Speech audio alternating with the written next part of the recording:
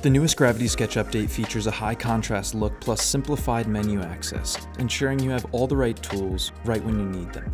Creation tools are still accessible by pressing the purple button on your non-drawing hand controller. They are now listed in four categories.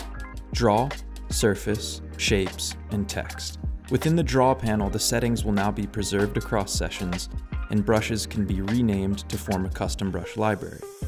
The color wheel is now at the interior of your non-drawing hand controller. Move your drawing hand controller over to the color wheel to enable the panel. The 3D color wheel will appear with materials to the right, transparency slider just below, and history down at the bottom. Pulling the drawing hand controller away will close the panel.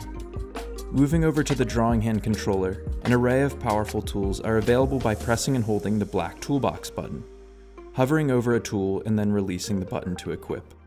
Access the measure and selection tools here, default sketching tools, plus color and materials where you can now create a custom palette, as well as presentation tools like viewpoints and teleport. Be sure to download the latest version of Gravity Sketch and leave us feedback or feature requests on the GS Discord.